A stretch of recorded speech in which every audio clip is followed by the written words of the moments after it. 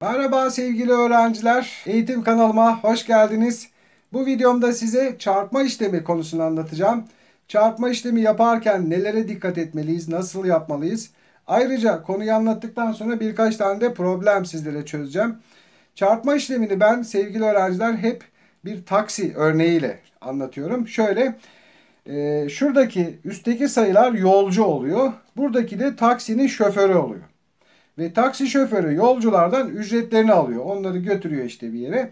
Bu şekilde bir mizansen düşünüyorum ve böyle anlatıyorum. Şimdi e, şu şoför ilk önce birler basamağında oturan yolcu ile çarpıyorum ve oradaki ücreti buluyorum. Sonra da onlar basamağına geçeceğim. Yapalım, uygulayalım. İki tane şoför de olacak birazdan. Şimdi 6 ile 8'i çarptık. 6 kere 8 kaç eder? Bunu isterseniz çarpım tablosunu ezberleyin derim. Böylece kolayca bulursunuz. 6 kere 8 48. Ama çarpım tablosunu ezbere bilmiyorsanız eğer o zaman 8'er 8'er sayabilirsiniz 6 defa. 8, 16, 24. Ama işte bu biraz uzun sürüyor. Zaman kaybettiriyor. Ya da sayarken kafanız karışabilir. Diyorum ya çarpım tablosu en güzeli. 6 kere 8 48. Şimdi buraya burada koltuk bir kişilik olduğu için 48'i iki kişi birden yazamam. Çünkü bakın 48 iki e, basamak yani iki kişi yani. O zaman ben bu 48'in 8'ini yazıyorum buraya. Ve e, elde var 4 diyoruz.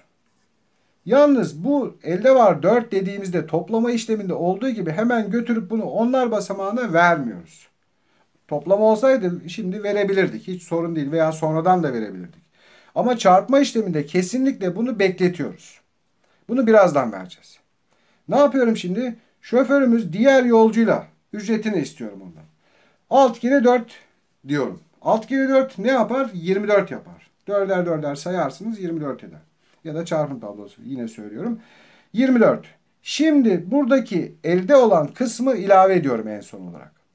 4 tane daha topluyoruz. 28 ve artık yazıyoruz. Şimdi yazabilirim çünkü başka çarpacağım kimse kalmadı. Çarpma işlemi bitti yani. Cevap ne oldu? 288. Şimdi iki tane şoför var bu kez.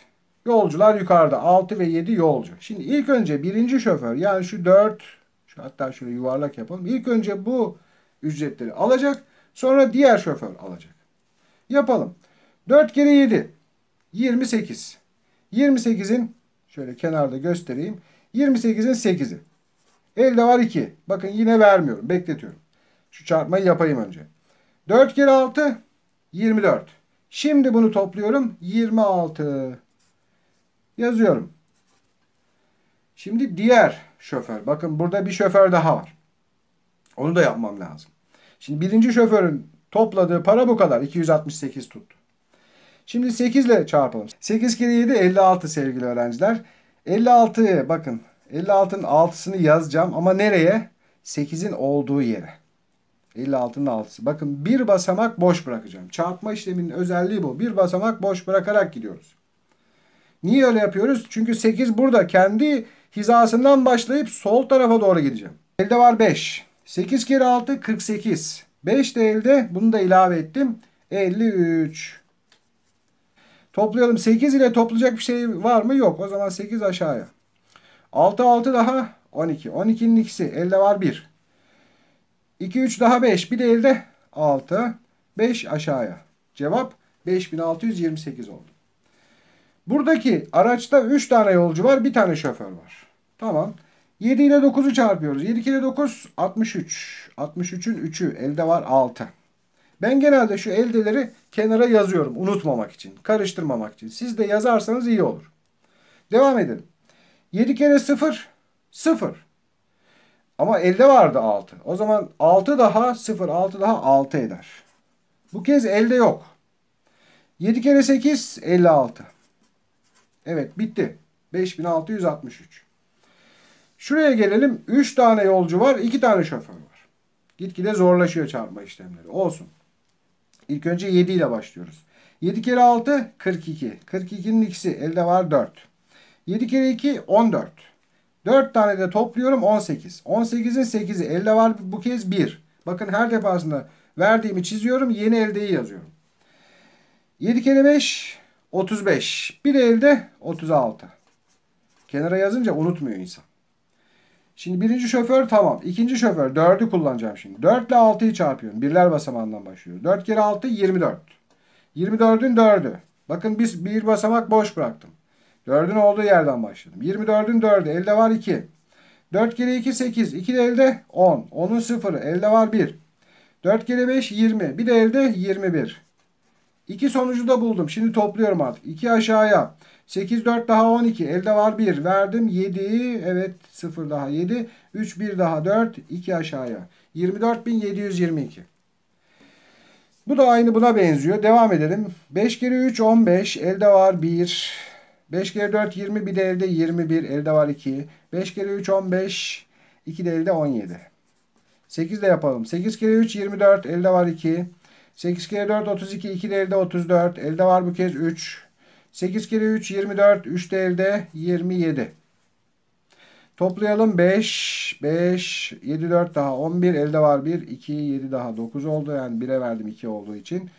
Öğretmenim diyor bazen öğrenciler. Burada diyor 2 yok diyor. Neden 2 ile 7'yi topladın? Ya bir tane elde geldi o yüzden. Evet 2 aşağıya. Şimdi 3 tane şoför olursa ne yapacağız? Yine aynı sistem, aynı yol. Birinci şoförden başlayacağız. Sonra bunun işini halledeceğiz. Sonra diğer şoför. Sonra diğer şoför. Devam edeceğiz. Başlayalım. 7 kere 6 42. 42'nin ikisi elde var 4. 7 kere 4 28. 4 de elde 32. 32'nin ikisi elde var 3. 7 kere 2 14. 3 de elde 17. Tamam. Şimdi 8 ile başlıyorum. 8 kere 6 48. Elde var 4. 8 kere 4 32. 4 de elde 36. 36'nın 6'sı elde var 3. 8 kere 2 16. 3 de elde 19. Tamam. Şimdi 3'ü diğer son şoförü yapacağım. Bakın 3'ün olduğu yerden başlayacağım. Yine e, bir basamak boş bırakacağım. Devam edelim. 3 kere 6 18. 18'in 8'i elde var 1. 3 kere 4 12. Bir de elde 13. Elde var yine 1. 3 kere 2 6. Bir de elde 7.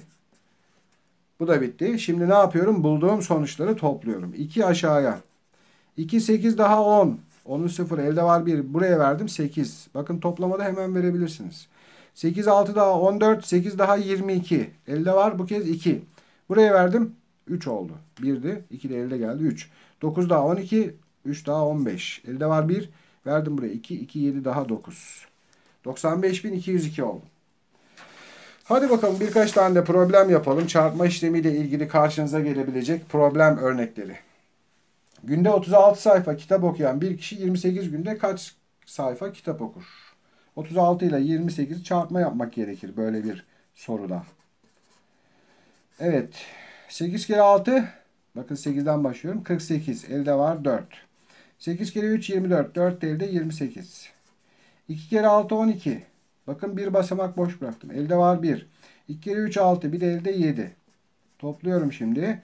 Bir de e, sonuçları yazdıktan sonra bakın böyle e, basamakların alt alta gelmesine dikkat edin. Bazen öğrenciler şöyle yapıyor. 288 ya.